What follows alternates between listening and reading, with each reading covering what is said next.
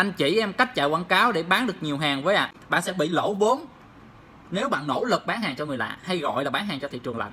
Vì ngay cái thời điểm mà người ta thấy quảng cáo của bạn á, có thể người ta chưa có cái nhu cầu để dùng đến cái sản phẩm đó.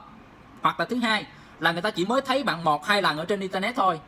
Thì sao ạ? Người ta chưa đủ niềm tin và cho, chưa đủ yêu quý và tin tưởng để có thể mua hàng từ bạn. Và nó còn hàng ngàn những cái lý do khác nữa. Giống như cái việc mà bạn đi tìm bạn gái vậy đó bạn mới gặp một cái người bạn bạn đòi nắm tay bạn đòi ôm hung bạn đòi đi nhà nghỉ rồi. Thì làm gì có cái chuyện mà chốt được hàng đúng không ạ? Không có chuyện đó đúng không các chị? Trừ khi bạn là một đại gia hay là một cái người nổi tiếng mà người ta biết bạn trước đó. Vậy thì cái bước một là bạn cần phải xây dựng cái nhân hiệu cho riêng mình. Giống như là bà Tân Vlog hoặc là Quang Linh Vlog khi mà nói đến cái đó là bạn biết cái, cái người đó làm trong cái lĩnh vực đó đúng không ạ?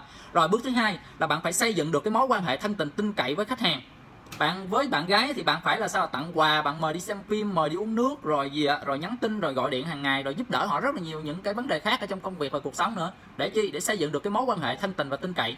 Khi họ yêu quý và tin tưởng bạn rồi thì cái việc mà nắm tay cái việc mà ôm hôn thì nó quá đơn giản đúng không ạ? À, họ sẽ thậm chí là họ sẽ tự chủ động làm cái việc đó.